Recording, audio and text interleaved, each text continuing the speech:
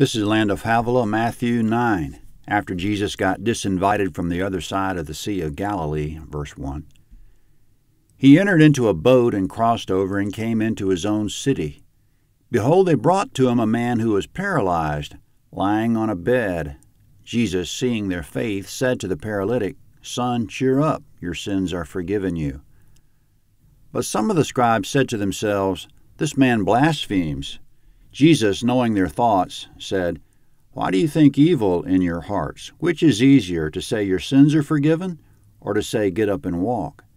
But that you may know the Son of Man has authority on earth to forgive sins, then he said to the paralytic, Get up and take up your mat and go to your house.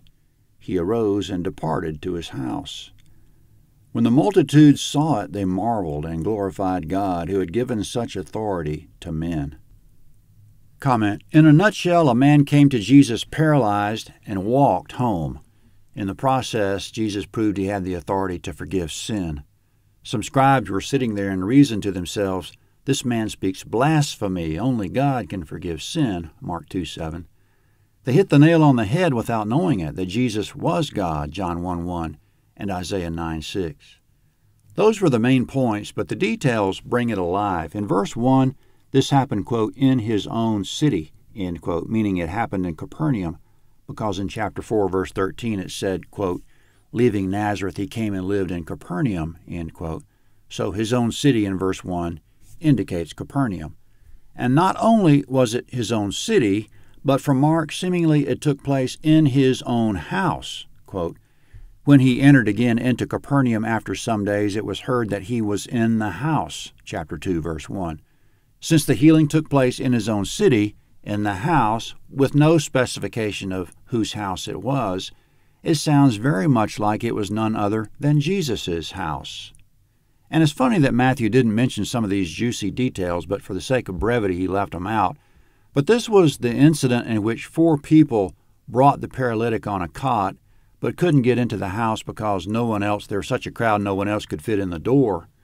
They hauled the paralytic onto the roof, broke a hole in the roof, and let the man down through the hole to a spot in front of Jesus while he was sitting and teaching, quote, into the middle before Jesus, Luke 5:19. No doubt as they were digging a hole in the roof, they rained down construction debris on part of the crowd, maybe on Jesus. Nobody had room to get out of the way, and the air must have been filled with dust. So, very much from the sounds of it, the four men dug a hole in Jesus' own roof. Not that Jesus necessarily owned it, but that it was the place he stayed in Capernaum. But Jesus didn't say, God condemn you for tearing up my house. Now the landlord's probably going to evict me because of all the chaos around me. Rather, quote, seeing their faith, Jesus said to him, Man, your sins are forgiven you, Luke 5:20. So it was Jesus showing a remarkable lack of worry and unflappable temperament.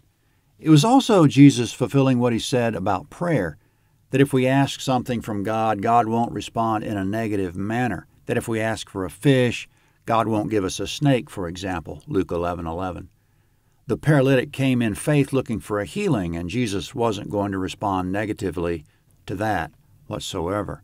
It was faith that motivated him and his friends to dig the hole, not a spirit of vandalism, and Jesus, being understanding, didn't react negatively. So the whole thing's a classic wonder, including being one of the many proofs that Jesus was God.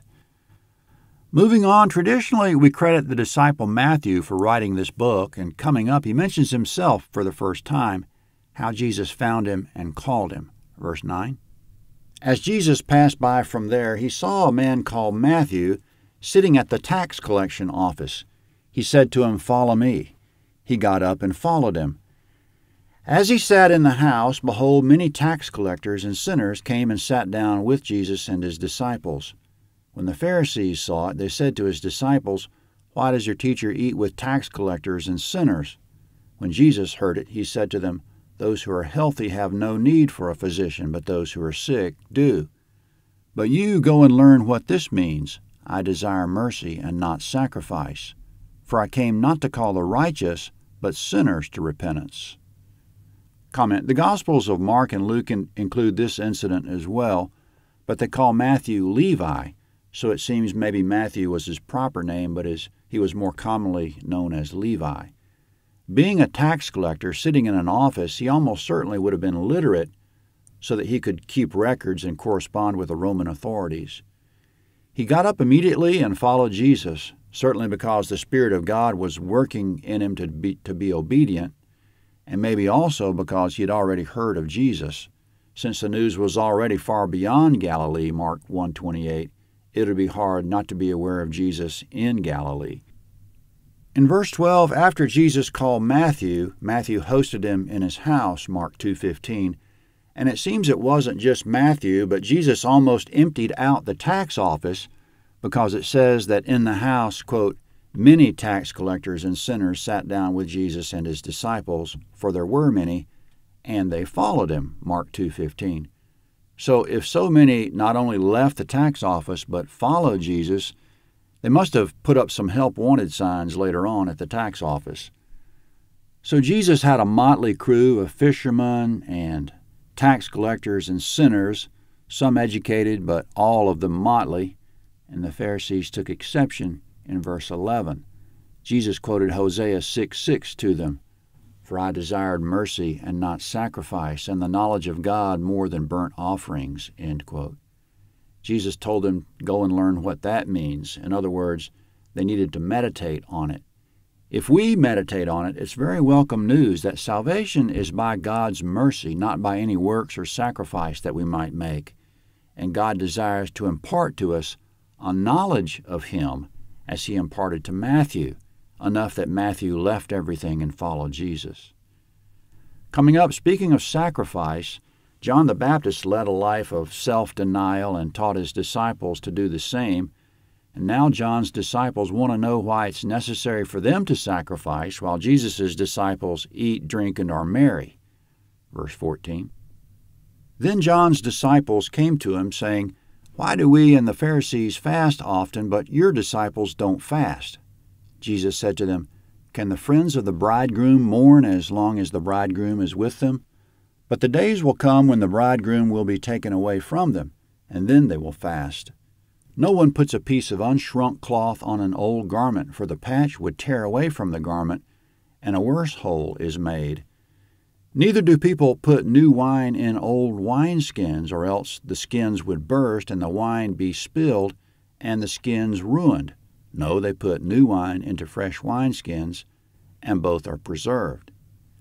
Comment Jesus said, My disciples will do nothing but celebrate while I'm with them, but when I'm gone, they'll fast like you. The metaphors of the old and new cloth and wine indicate that there's a time for everything. Different occasions call for different approaches. Anyone coming to Jesus must have a fresh mindset, realizing that he's bringing something completely new. Otherwise, he'll be destroyed, the man who comes to Jesus, like the old wineskin or old cloth. Coming up, Jesus is multitasking. While he's on the way to do one miracle, he'll do another. Verse 18. While he told these things to them, behold, a ruler came and worshipped him, saying, My daughter has just died, but come and lay your hand on her, and she will live. Jesus got up and followed him, as did his disciples. Behold, a woman who had an issue of blood for twelve years came behind him and touched the fringe of his garment. For she said within herself, If I just touch his garment, I will be made well. But Jesus, turning around and seeing her, said, Daughter, cheer up, your faith has made you well. And the woman was made well from that hour. When Jesus came into the ruler's house and saw the flute players and the crowd in noisy disorder, he said to them, Make room, because the girl isn't dead, but sleeping. They were ridiculing him.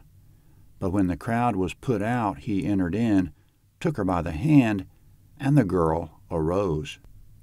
The report of this went out into all the land. Comment The ruler's name was Jairus, not a Roman ruler, but a Jewish synagogue official, Mark 5:22.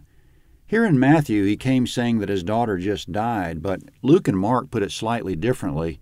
Luke says not that she was dead, but dying, and Mark says he came to Jesus and said, My little daughter is at the point of death and that while they were on the way, some people came in the, from the house and met them, saying that it was too late; she was dead already. Mark five thirty-five. So we can see how different witnesses could get some of the finer points confused. Anyway, Jesus agreed to come to the house, but he got interrupted on the way by the woman with the issue of blood. So Jairus was standing by, watching and waiting. And if the daughter, if he was under the impression that the daughter was still alive, he was wondering if this interruption was going to be fatal for his daughter. The touching of the fringe of Jesus' garment was commonplace, quote, whenever he entered into villages or into cities or into the country. They laid the sick in the marketplaces and begged him that they might just touch the fringe of his garment, and as many as touched it were made well. Mark 6:56. So the woman was just one example, and apparently when someone was healed, Jesus usually didn't even mention it. Luke 8:45. Anyway, Jesus finally got to Jairus' house, and the daughter was dead already by that point, according to all accounts. She was about 12 years old, Luke 8:42. It was obviously unspeakably tragic. The flute players were playing music of mourning, and the crowd was in noisy disorder outwardly, which reflected their condition inwardly that such a horrible thing could happen, such an unmitigated and irredeemable disaster. To them, Jesus was laughable in verse 24, quote, they were ridiculing him, end quote. And someone might scoff today at words of encouragement at a Christian funeral, hearing the preaching that the believing dead are in paradise living to Christ. But the rising and living in this case took place immediately, proving that it can be done. It's not entirely clear, but it seems all this was in Jesus' adopted hometown of Capernaum, and as Jesus left the little girl's house, headed for his own house, verse 27, as Jesus passed by from there, two blind men followed him, calling out and saying, Have mercy on us, son of David. When he had come into the house, the blind men came to him. Jesus said to them, Do you believe that I am able to do this? They told him, Yes, Lord. Then he touched their eyes, saying, According to your faith be it done to you. Their eyes were opened. Jesus strictly commanded them, saying, See that no one knows about this but they went out and spread abroad his fame in all that land. Comment The blind men followed Jesus to the house, and at first we wonder why Jesus didn't heal them right away in the street when they first started following. But then we remember that Jesus is trying to be as quiet as he can about his healings because of the crowds. He waited till he, quote, had come into the house, as verse 28 said, and the blind men were somehow able to get in behind him. Again he said, See that no one knows about this, but they went out and spread abroad his fame in all that land. Coming up, when Jesus healed the blind men, there was a crowd at the house, and no sooner had he healed them, but verse 32, as they went out, behold, a mute man who was demon possessed was brought to him. When the demon was cast out, the mute man spoke. The multitudes marveled, saying, Nothing like this has ever been seen in Israel. But the Pharisees said, By the prince of demons he casts out demons. Comment Now coming up, Jesus takes to the road, verse 35. Jesus went about all the cities and the villages, teaching in their synagogues and preaching the good news of the kingdom, and healing every disease and every sickness among the people. But when he saw the multitudes, he was moved with compassion for them because they were harassed and scattered like sheep without a shepherd. Then he said to his disciples, The harvest indeed is plentiful, but the laborers are few.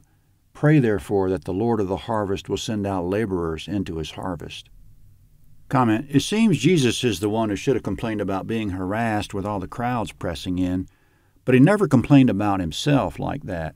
Rather, he was moved with compassion for the people's harassment, harassment by Satan, and scattering, which was confusion by Satan. Galilee was a land of deep darkness, Matthew 4:16. He told his disciples to pray for God to send shepherds and harvesters. This was almost an extension of the Lord's Prayer in chapter 6. When we pray the Lord's Prayer, we should add a tagline to it, please send workers into the harvest. Matthew 10 is next at landofhavilah.net. Matthew 10.